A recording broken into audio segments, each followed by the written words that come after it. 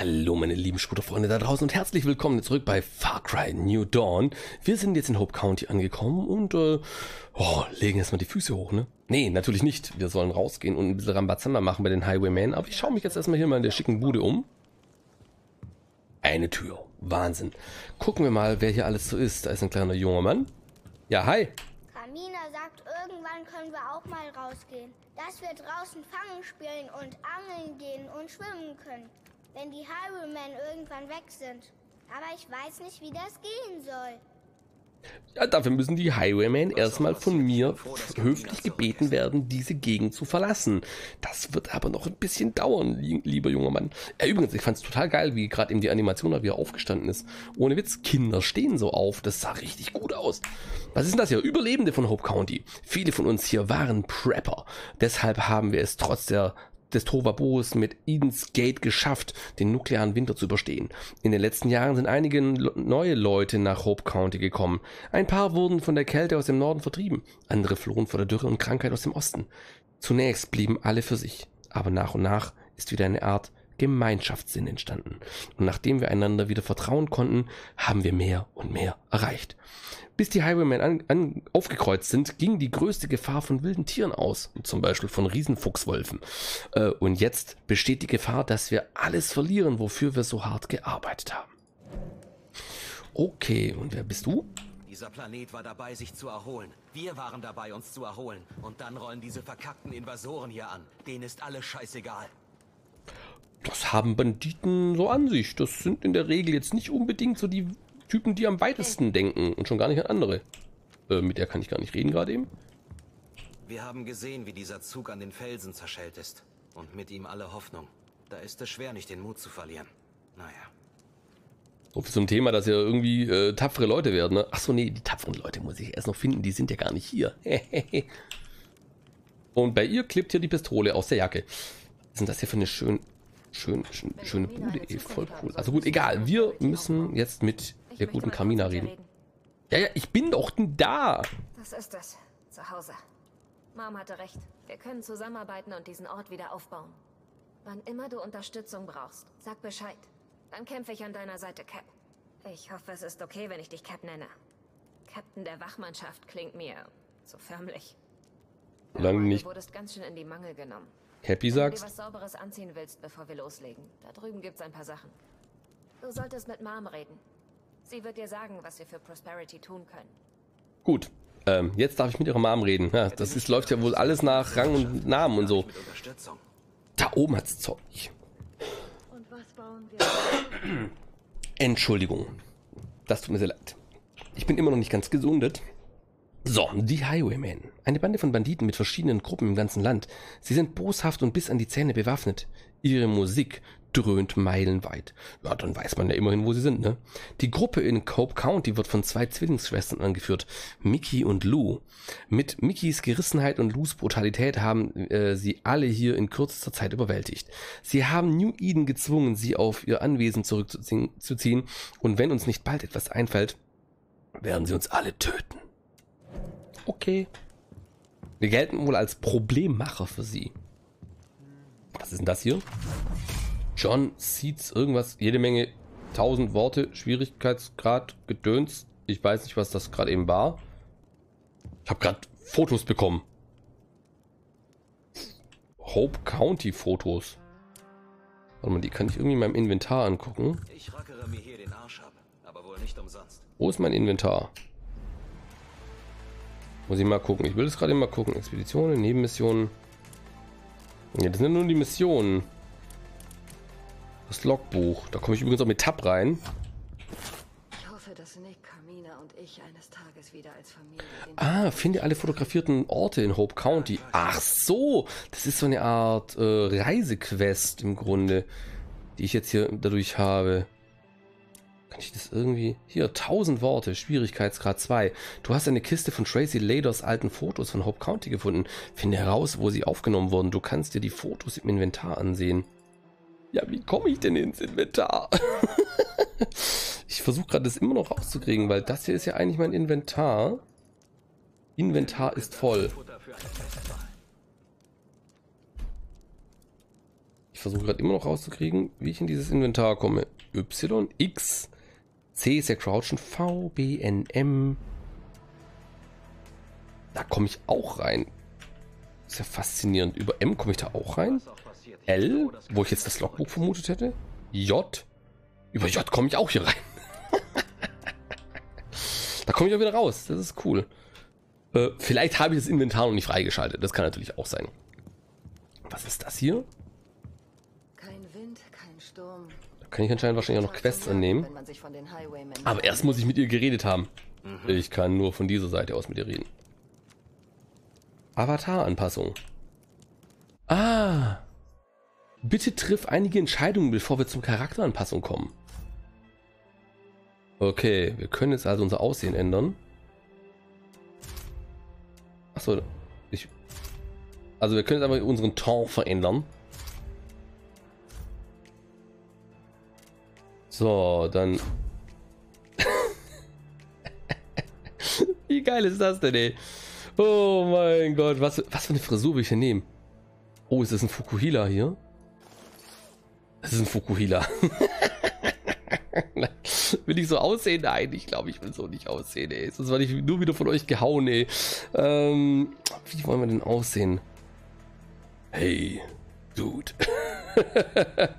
ja, eher schon braune Haare. Meine ha echten Haare sind ja auch eher so ein bisschen braun. Ähm, aber in echt bin ich. Gott. Kurz Locken, ey. Ja, nee, komm, wir nehmen mal hier so einen verwegenen Typen, ey. So, gehen wir mal hier zurück. Also ausrüsten. Äh, nein! Ich wollte das hier. Zurück. Was kann ich denn da noch nehmen? Klamotten. Ranger. Das ist eher so der Waldarbeiter-Typ. Ähm, Trucker, würde ich sagen. Keine Ahnung. Wir haben bei der Straßenreinigung gearbeitet. Wir waren beim Militär. Wir waren beim anderen Militär. Übrigens Militär. Ähm, Militär in Freizeit. Fischer? Anderer Fischer? Wanderer? Äh, Hipster-Wanderer? hey, das sieht cool aus. Das sieht einfach so völlig normal aus. Komm, wir nehmen das da. Die, die gelbe Klamotte wird auch überhaupt nicht auffallen im Wald. Bei, dies, äh, bei der bunten Umgebung. Äh, was? Eine Mütze? Hm. Diese Brille geht gar nicht. Nee, wir lassen es sein. Wir nehmen keine äh, Brille in der Hinsicht. Was ist das hier noch? Boah. So ein richtig dicker Backenbart. das geht gar nicht, Entschuldigung, aber äh, das ist so 70er Jahre, ey. Was nehmen wir denn? Das ist so äh, typisch amerikanisch. Das bin eher ich so, so vom Bart her. Manchmal bin ich auch das, aber tendenziell bin ich eher das. Äh, wir nehmen mal das da. Finde ich eigentlich ganz gut. So, zurück. Ähm, Handschuhe. Ja, so richtig lächerlich gelbe Handschuhe, noch passend zu unserem Oberteil, finde ich eigentlich ganz cool. Und jetzt noch die Hose mit so gelben Gummistiefeln. Sind wir. wir sind Captain Yellow.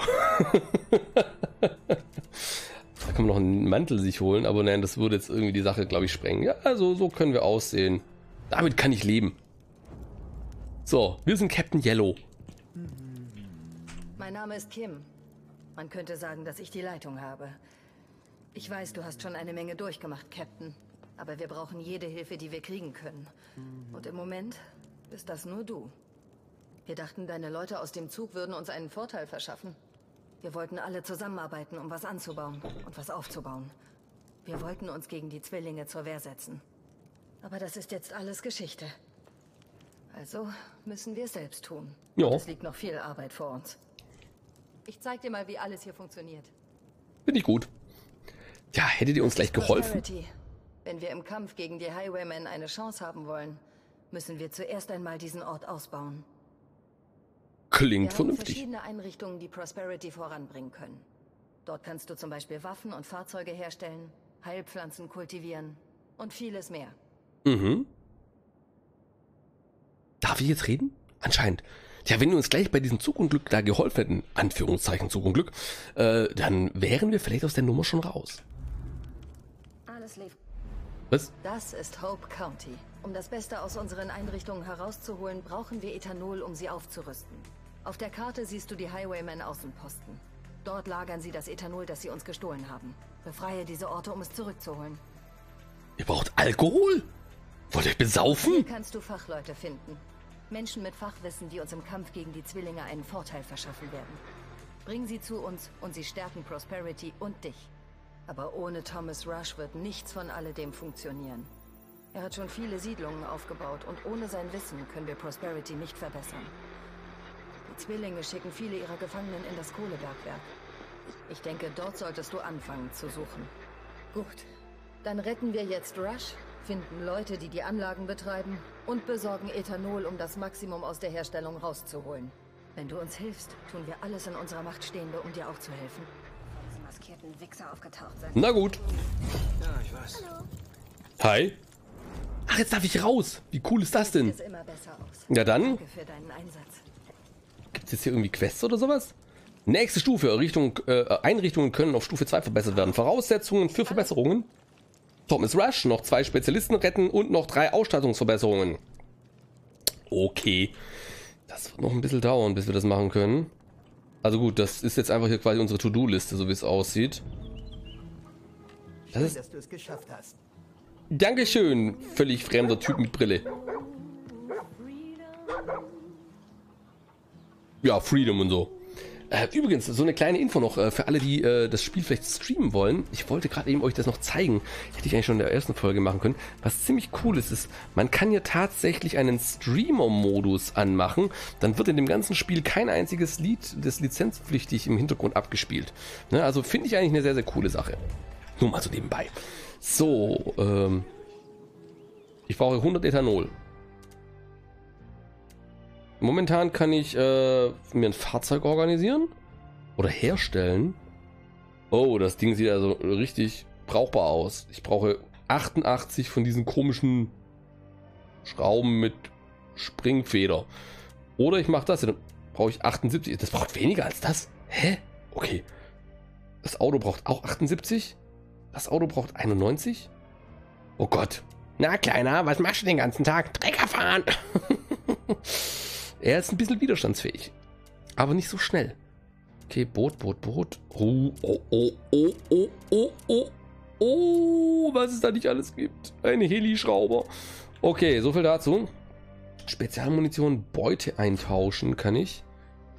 Wolfshaut gegen je 30 Titan tauschen.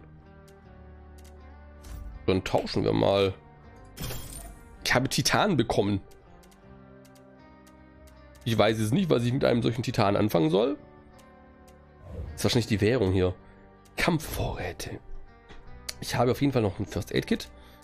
Äh, Wurfmesser kann ich aus Kupfer herstellen, so wie es aussieht. Mhm. Rauchgranate, Molotow-Cocktail. Dynamit, brauche ich das Sprengstofflabor. Fernzünder wahrscheinlich auch, ja, das ist alles so ein bisschen, sogar Stufe 2, Stufe 3. Hier kann ich verschiedene Munitionsarten herstellen. Was ist denn das hier? Das ist einfach nur Metall oder das ist Kupfer? Wahrscheinlich ist das einfach Kupfer. Das ist Submachine Gun Munition, Schrotmunition, Gewehrmunition, ähm, Kaliber 50. Ach, hier oben steht schon MP, Schrot, Gewehr. Kaliber 50, leichte Maschinengewehrmunition, Raketenwerfermunition, 40 mm Granatwerfer, Pfeile, Brennstoff und Sägeblattmunition. Da sind wir voll. Insgesamt sind wir da überall gerade eben ziemlich voll. Ähm, Herstellungsmaterialienpakete. Was ist denn das? Kleines Herstellungspaket. Äh, dieses Titan ist nicht nur eine Ingame-Währung, sondern auch, kann es sein, dass es auch eine Outgame-Währung ist? Also, ich weiß gar nicht, kann man da irgendwie Ingame so, na okay, wir werden sehen. Far Cry Credits. Äh, ja, es ist eine Outgame-Währung. Ähm, ja, also ich persönlich bin ja jetzt nicht so Fan davon, bei einem Vollpreistitel sowas machen. Ja, genau, empfohlen auf jeden Fall. Ähm, ihr müsst selber wissen, ob ihr das macht. Ich persönlich halte davon relativ wenig. Das Ding ist ein Vollpreistitel im Grund. Äh, damit es sollte es eigentlich bezahlt sein. Egal. Ähm, Trainingscamp. Da wird ja viel trainiert. Ähm, wir müssen uns noch kurz umschauen. Können wir da raus? Wir könnten da raus, aber ich will das gerade eben noch nicht. Ich möchte erstmal hier die Gegend mir nochmal anschauen. Mhm. Ach, da würde ich dann rauskommen. Boah, das ist eher so ein Halb raus, oder? Mhm, mhm. Muss ich jetzt eigentlich... Also sie kommt auf jeden Fall mit. Sie diskutiert da nicht lange. Sie kommt auf jeden Fall mit. Ja gut, wenn sie will. Ist ja ihr Leben, was sie wegwirft. Kann ich da rein? Nein. Jetzt mal wie ich hier diesen ganzen Klapperadatsch einsammeln, ne? Oh, was ist denn das? Ich habe Federn bekommen für ein Fahrzeug. Das sind aber große Federn. Nochmal elf Federn. Das federt aber nachher gut. Ich dachte, das wären so kleine handliche Federn. Jetzt sind das auf einmal so richtige Oberschenkel-Oschis. Das ist ja unglaublich. Ich liebe meine Familie, aber manchmal brauche ich einfach Abstand von ihnen. Deswegen gehst du ständig raus. Oh, du hast noch mal welche. Nochmal elf Federn. Schwarzpulver. Leichte Maschinengewehrmunition, die allerdings voll ist. Also um Loot brauchen wir uns wahrscheinlich hier tendenziell keine Sorgen machen. Das sieht so aus, als ob man hier... Ah, den muss ich erstmal bauen oder so. Aber man sieht ja quasi schon so, dass jemand schon mal angefangen hat, an ihm rumzuschrauben. Expeditionen ermöglicht Schnellreisen nach Prosperity, braucht allerdings auch Ethanol. Also gut, hier funktioniert alles, was irgendwie funktionieren soll mit Ethanol. Benzin hat man aufgegeben, Diesel allein der Umwelt zuliebe. Ahaha. Ähm Zack, was ist das hier Schönes? Sprengstofflabor, schaltet Sprengstoffherstellung frei. Okay. War da nicht noch irgendwas, was ich looten kann? Ich hätte gerne noch so ein paar Federn. Dann kann ich mir gleich ein, ein Motorrad oder so bauen. Das wäre doch eigentlich ganz praktisch. Was ist das hier? Krankenstation, brauchen wir auch Ethanol. Also am Anfang ethanolisieren wir nicht so viel.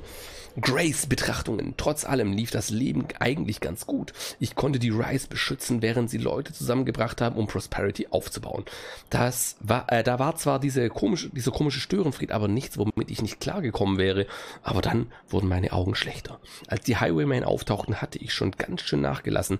Ein Schuss, ein Treffer, das war nicht mehr drin. Aus Kämpfen kam ich kaum noch unversehrt raus. Ich musste improvisieren, Materialien sammeln, um bessere Waffen zu bauen. Das ist die Überlebensstrategie hier draußen. Wenn es hart auf hart kommt, bringen die Harten bessere Waffen in den Garten. Alles klar. ähm, kann ich eigentlich jetzt hier schon... Also mehr Waffen kann ich anscheinend noch gar nicht bauen. Das ist die Werkbank. Brauche ich auch 150 Ethanol. Warum brauche ich für alles Ethanol? Wahrscheinlich muss ich es einfach nur reinigen und desinfizieren oder sowas. Oder abfackeln. Desinfizieren durch Abfackeln. Ist ja auch alles meistens Metall, ne? Einfach anzünden. Das sind die Schießübungen hier. Gott, ich muss euch so viel beibringen. das ist ja extrem fürchterlich hier gerade eben. Okay, schauen wir uns mal um. Äh, oh, da hinten leuchtet noch was. Ah, noch ein paar Panzertapes, sehr gut. Baller. Ja, das ist schön, ne? Kamina ist zurück. Äh, ich möchte ja hoch. Dankeschön. Oh, warte mal, mit der kann ich reden? Die Highwaymen werben Leute an und hetzen sie gegen ihre ehemaligen Freunde auf. Toll. Ja, das ist, glaube ich, äh, keine allzu brisante Information. Das ist, glaube ich, hier so Status Quo. Hm. Und du so? Wir haben nicht die nötige Hilfe von außerhalb des Tals gekriegt. Kim hat das Leben ihrer Tochter umsonst aufs Spiel gesetzt. Wenn das deine Meinung ist, respektiere ich sie. Ähm, hm, hm, hm, hm. Auch wenn ich sie nicht unbedingt teile. Sind das hier? Ähm, anscheinend nichts allzu Wichtiges. Ich gucke mich gerade hier nochmal um. Laufe hier das Ganze nochmal schnell ab und dann gehen wir auch nach draußen, wobei das... Frühstücks wohl Glücksklee, dass du den Unfall überstanden hast. Und du bist wohl der König der tollen Sprüche hier, oder was? Ja, ja, ja, ja, ja, die Leute hier. Oh, kann ich nicht plündern? Ist voll. Das kann ich auch plündern. Ein Zahnräder, elf Zahnräder. Was man nicht alles findet hier. Du hast wohl neun Leben, was? Nee, eigentlich nur eins, aber danke der Nachfrage. So, kommt sie jetzt eigentlich da runter, die Kamina? Ich denke, ich möchte jetzt hier mal raus. Öffne das Tor. Garage und das Boothaus. Ist das hier? Ah, ich kann also hier auch noch mal, also wenn ich gar nicht erst in die Bude rein will, kann ich an dieser Station auch noch irgendwelche Aktionen durchführen. Hallöchen, Kamina. Äh, wo wollen wir denn jetzt eigentlich hin? Ist da vorne ein Auto? Ist das ein Auto? Nein, es ist nicht. Das ist scheiße. Das ist einfach nur... Ich müsste ja eins herstellen, aber ich habe nur 32 von den Teilen, also müssen... Doch, es gibt ein Auto. Oh. Das Leben ist toll. Das Steuerung anzeigen? Handbremse? Schießen? Dose werfen? Wichtig, ne? Gleich an dritter Stelle. Äh, Fahrhilfe? Hupe? Ausrüstung, ausgerüstetes Wurfgeschoss einsetzen. Ähm, Fahrhilfe. Okay. Wir fahren jetzt mit Fahrhilfe. Ich weiß gar nicht so genau wohin. Wahrscheinlich zur nächsten Quest. Das werden wir dann rausfinden. In der nächsten Folge, liebe Leute. Macht's gut. Bis dahin, schöne Zeit, ne? Lasst einen Daumen oben da. Tschüss und Ade.